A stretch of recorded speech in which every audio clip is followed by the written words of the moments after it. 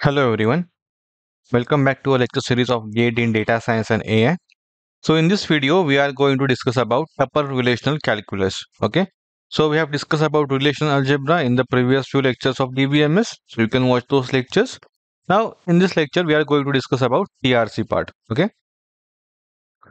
So what is tuple relation calculus? So TRC is a non-procedural query language, right? So what is non-procedural query language? It will give us the information only about what data we have to get, right? What data we have to get, right? What data to get. But how to get that data? There is no information about that. But in the case of procedural language, right? That is in the procedural language, right? Which is our relational algebra, right? Relational algebra is a procedural language and tuple relation calculus is non-procedural query language, right? So in the case of relational algebra, we'll know what data to get, right? And how to get that data, right? How to get that data, right? So this is what procedural will be, right? So what happens in the case of TRC? So TRC is the syntax like this. So this is how we represent the TRC expression. So in, inside the curly braces, there is T vertical slash then predicate p of t where t is the resulting tuple. Resulting tuple means output of a particular uh, table. Then and p of t is basically a predicate right? So if this is true then only this particular tuples will be projected based on this particular condition or you can say whatever the predicate is mentioned here right? So this predicate may consist of various or operator and operator not operator also right so in the case of relational algebra, we have discussed this like in relational algebra also we use OR operator and operator and not operator. But in the case of TRC, we have two more operators or we can say quantifiers. So the first one is there exist, right? This is there exist. So this is basically there exist, right? There exists and this is basically for all. Okay, for all.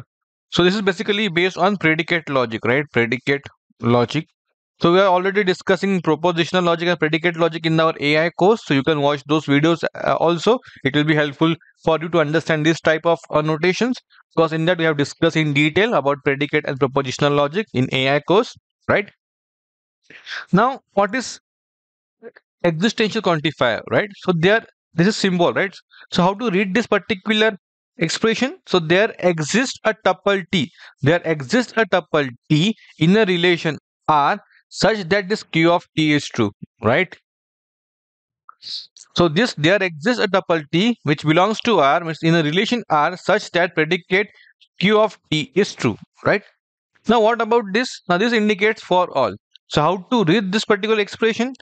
q of t is true for all tuples in a relation. For all tuples in a relation, q of t is true. Like for all the tuples in a relation, R q of t is true right? Q of t is basically any conditional or you can say. So Q of t you can say any conditional, right? So we'll discuss with the help of an example, don't worry.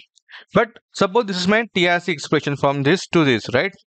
So how to read this particular TRC expression and what I will get from it? Okay, so here you can see there is a tuple p. It is not necessary that we have to use t only, we can use any variable here. So for a tuple p, there exists s belongs to student. So s stand for students, right? And s dot cgpa greater than 8 it means in my students table cgpa is the particular column name. And we are applying the condition that cgpa must be greater than 8 right? So this is about the condition. And what we are going to project like what we are going to uh, fetch this particular p dot name equals to s dot name and p dot age equals to s dot age. So whenever you see such type of expression p dot name or p dot age where p is basically this tuple variable, right? So it, it can be it can be t, it can be a, it can be anything. But whenever you see a t dot name or t dot age, it means we are projecting or we are selecting this particular column from the table. So it will return the name and age of a student with CGPA above 8, right? So this, so this is the particular TRC expression for this uh, name and student to get the name and age of a student with CGPA above 8, right? So don't worry, we'll discuss with the help of examples. Now let us say this is my student table, right? This is my student table, right? So our general expression is t vertical slash this predicate q of t will be true, right? This is what the TRC is, right? Now what I'm saying, for a tuple t, right? For a tuple t vertical slash, there exists s which belongs to student.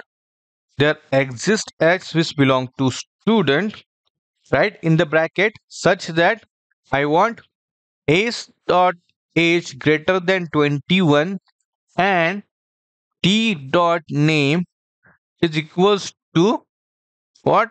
S dot name right? So what i will get from here? I will get the t dot name equals to s dot name. Means for a for a particular tuple t i want t dot name equal such that this equals to s dot name. So it means that i will get a name column here right? I will get a name column here. But how like what what are the values here in this case? So there exists s which belong to student such that this condition is satisfied. That is s dot age greater than 21 now if you see s dot age greater than 21 ravi raj shubham rajesh right? So this four will be the output. That is ravi raj shubham right? Rajesh so this will be the output of this particular trc expression right now there are different ways of writing a TRC. This is one of the way of writing TRC. Or what or what I can say for a tuple T. Now there exists T which belongs to student, right? Now T itself belongs to student, right? And there exists T only, right? Then I can directly say T dot age greater than 21, right? Here this specific condition and here we are projecting t dot name right? So that is name we want to project. But here already t belongs to student. So what i can say instead of t here i can also mention i can also mention t dot name. Means it will be like this. T dot name okay? There exists t which belongs to student such that t dot age greater than 21 this is also a correct TRC expression, right? So both there are two ways of writing TRC expression. Either we can write, either we can write like this, for because for a we are just saying any for any tuple t there exists s, right? But here we are saying for a tuple t which belongs to student, right? Then we are applying the condition. Okay. So if we are using like this, so here we specify what are the attribute we are going to project, and this is our condition. Okay. But here we have to specify which attribute we want to project, right? Now suppose I want to project name and course, right? In that case, what I will do?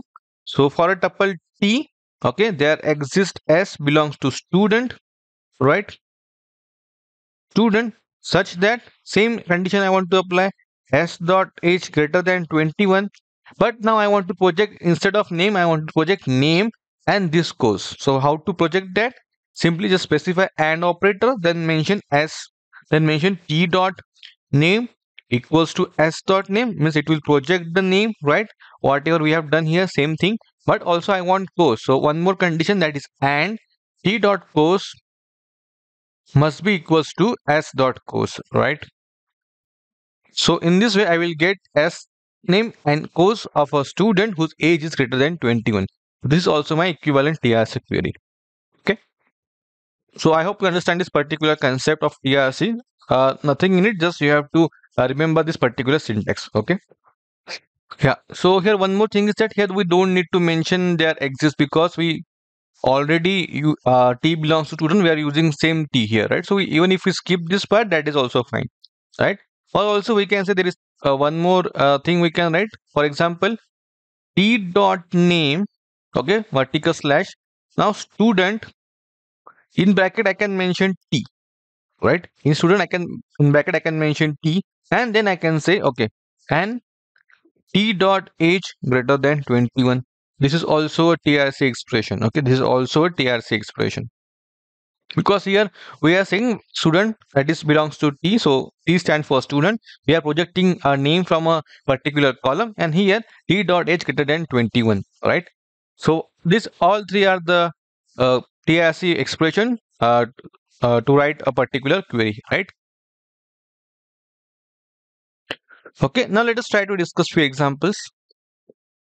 Okay, so this is same question what we have discussed in case of relation algebra, but we'll try to uh, write the equivalent TRC expression here, right? Following TRC expression. Now here, what we are getting by name and age of a student. So I'm projecting name and age of a student. That's it. So how to write the equivalent TRC query for this relational algebra? Because such type of question you can expect in the exam, like write an equivalent TRC query for given relational algebra expression. So relational algebra expression will be given to you. You have to write an equivalent TRC query for that. Now what will be the equivalent TRC query for this? Okay, because here simply we are projecting name and age from the student table. That's it, right? But in the case of TRC, how to write the TRC form? So curly braces, right? For a tuple T, right? So there exists S which belongs to student, right? And we are simply projecting it, right? So simply I can mention T dot name equals to S dot name, right? And T dot age equals to S dot age, right? That's it. That's it, right? Simply we are projecting name and age from a student table for which tuple T exists, right? The either way we can write it out in the second form is that, okay? For a, uh, like here just we are projecting T dot name comma T dot age, right? And now this T belongs to student table. That's it, right? That's only the as expression we can also write because we don't have any other condition right or either way we can write same thing t dot name comma t dot age right? Or this student t right? Where t belongs to this particular student right? So these all are the correct way of writing a TRC expression okay? Now what about this uh, course? We are simply projecting the course here right? So same thing okay? For a tuple t okay? There exists s which belongs to student okay and t dot course equals to s dot course right? So we are projecting a course here from a student table right? Other way of writing a TRC is the first one is the second one is so other ways writing of this t dot course okay? Also that that uh, t belongs to student that also we can say t belongs to student that's it right so i hope you understand how to write a particular TRC expression right? It is simple you just need to practice okay? So in general what i can say there will curly braces vertical slash will be there.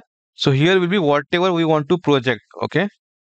Whatever we want to project or whatever we want in the particular output that it will fetch right? And here we have to mention the predicate. This will be a predicate right? So predicate means this type of predicate. Like for there will be a table relation this type. So there exists as belongs to student and this particular condition will be there okay? If this is true then it, based on this it will project the particular column okay? So that's it. We'll try to solve few examples. Now let's solve this particular question number five. We have to find out the TRC expression right? Equivalent TRC expression here so we have name and age, right? So we are projecting name and age. Our condition is age greater than 21 and course equals to DBMS. So what will the output? Age greater than 21 and course equals to DBMS. So this row is satisfied. Okay. What about this Raj 24 age greater than 21 but course is not DBMS. This will not fetch. What about this Shubham? Yes. Age greater than 21 uh, and course DBMS. This is satisfied. Now all the three rows will not satisfied because our course is not DBMS, right? So these two will be in the output, these two rows. But how to write the equivalent TRC expression for this, right? So same thing, okay? So for a tuple T, there exists S which belongs to student, right? It is not necessary that you have to use t only. You can use a, b, c, any variable. Here also it is not necessary that you have to use s only. You can use a, b, c, d, any variable. But when you fix it that there exists s belong to student, it means that s stand for students, right? Student. Then in bracket we have to mention what? What is the condition? s dot age greater than 21 and s dot course equals to dbms right so up till now we here here we have mentioned the condition. So our condition is fine. But what is remaining? We have to project it also. Then how to project? Then one more thing and t dot name equals to s dot name, right? And t dot age equals to s dot age, right? So this is how we write a TRC expression, right? If we are given any relational algebra expression, you should be able to write it down in the TRC form. Okay. So all these things we have discussed up till now, it's just for only one table, that is student table. But what if there are more than one table or we need to join the tables? Then in that case, how to write a TRC expression? That we'll see now. Okay. Now suppose we have this uh, two table that is student and enrollment, right? Now I want name of a, a student whose belongs to mechanical department, right? So like I want name of a student, name of a student who belongs to mechanical department, okay? Mechanical department, right? So what will be the relational algebra expression first? So what will be the relational algebra expression first? So project, so what project we have to project? Name, right? So we have to project name when student who belongs to mechanical department means department must be mechanical. So I have to apply this condition on department uh, row, sorry, on column, but I want to project name here. It means I need to join the student and enrollment table. So in the relational algebra, we use this symbol for cross join and this is for natural join, right? So natural join will base uh, on the common attribute. So here we don't have, okay. So here we have this roll number and roll number is a common attribute. So what we can say inside the sigma operator, department department equals to mechanical right? Right? But in the bracket we need to join the table also. So student natural join enrollment right? So that will be a equivalent relational algebra expression. Now what will be equivalent TRC expression for this particular statement? Right? Because here we need to join two tables right so there exists a tuple t like for a tuple t, right? So what I can say there exists s which belongs to student, right? Also comma and we can also mention there exists e which belongs to enrollment, right? So we have mentioned these two table that there exists student belongs to there exists s belongs to student and there exists e belong to enrollment. Now such that now we need to join these two tables because in the relation algebra we have this natural join symbol. So automatically based on the common attribute it will join the tables. But in the case of TRC we don't have such symbols, right? So we need to specify the join. So we need to specify the joining condition. So here S dot roll number equals to E dot roll number, right? So I have joined the table now. But what is my condition? Department must be mechanical. So and and E dot department because department belongs to enrollment table. So E dot department must be mechanical, right? So here I have joined the table up till now this particular point and here I applied the condition. But what is remaining? We want to project the name. And how to project the name? Simply t dot name equals to from which table name? Student table. Student means s. So equals to s dot name right? So that will be my correct TRC expression. So if you want to join two tables or three tables, just specify like this. There exists S belong to student, there exists E belong to enrollment. Or suppose we have one more table course, then you can mention there exists C belong to course. Then in the bracket, you have to mention the joining condition. And after whatever the condition you want to apply, and after that, whatever you want to project. Okay. So this is how we can uh, write a TRC expression right? So this order can change like first you can mention whatever the project uh, whatever the attribute you want to project or uh, joining condition that doesn't matter because we are using an operator here. But yeah this is will be a uh, this will be a, a, structure for writing a TRC expression. Okay? So i hope you understand this particular concept. Try to solve more examples. Okay? So for this trc and relational algebra and sql part i will suggest you to solve raghu ramakrishna Raghu Rama Krishnan book like DBMS DBMS by Raghu Rama Krishna. This is a reference book. Very good number of questions are given in this particular book, and you can expect the question directly from this uh, book itself because very good number of questions are there. Okay, for TRC and uh, relation algebra and then SQL also. And for practice also there are many questions to practice, right? So please go through this Raghu Rama Krishna book. Okay. Uh, for this TRC and relational algebra part. Okay, so it is available online, so you can just uh, go through it, right? So it will be very useful for you. Okay, so that's it from this particular lecture. Uh, in the next video, I will come up with previous year uh, gate questions based on TRC and relational algebra. Okay, we'll try to solve that. Okay, thank you everyone. Bye bye.